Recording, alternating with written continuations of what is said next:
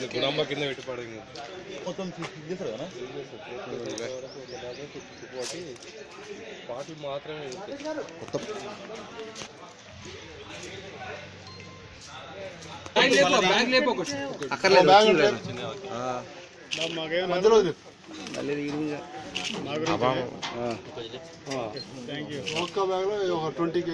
అరే camera Zoom చేయ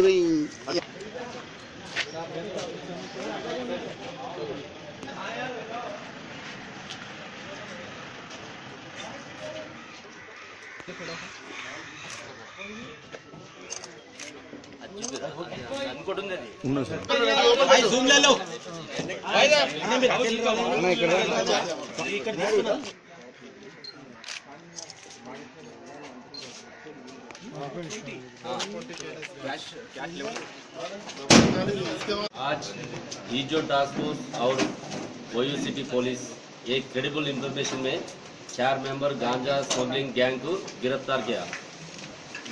इन लोगों के नाम पवन, नरेश, नरसया और श्रीनिवास।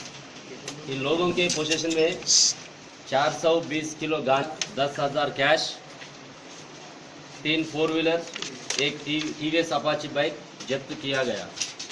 पूछताछ में ये मालूम हुआ कि पवन ने हैदराबाद में होटल मैनेजमेंट कोर्स पढ़ रहा है।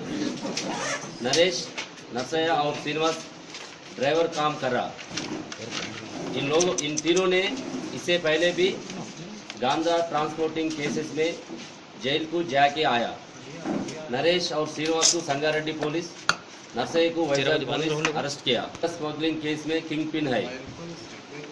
पवन ये तीनों ड्राइवर्स कम ट्रांसपोर्टर्स को नागराज से मिलाया और कमीशन बेसिस में गांजा ट्रांसपोर्ट करने के लिए एग्री हुआ।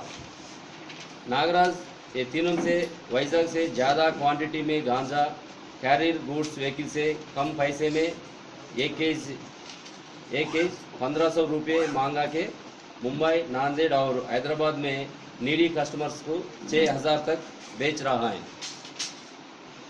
इन लोग गांजा ट्रांसपोर्टिंग में गुड्स कैरियर व्हीकल्स यूज़ कर।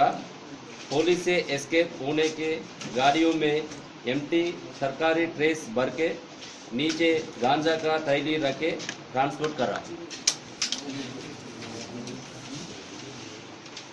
एक गाड़ी का ट्रक के नीचे डमी बॉडी बना के उसके अंदर गांजा लोड करके ट्रांसपोर्ट कर। रहा ऐसा करने से देखने में एमटी गाड़ी दिखता। लोगों को शक नहीं रहता, लेकिन अंदर गांजा का थैली रहता। पवन को पायलट के जैसा इस्तेमाल कर रहा। कितनी की रिकवरी हुई चार सौ बीस के जी गांजा ग्यारह लाख दस हज़ार कैश तीन गाड़ियाँ और एक bike professional seller sale background पहले भी कुछ केस केस तो ये लोग ये लोग भी पहले जा चुके हैं केस में।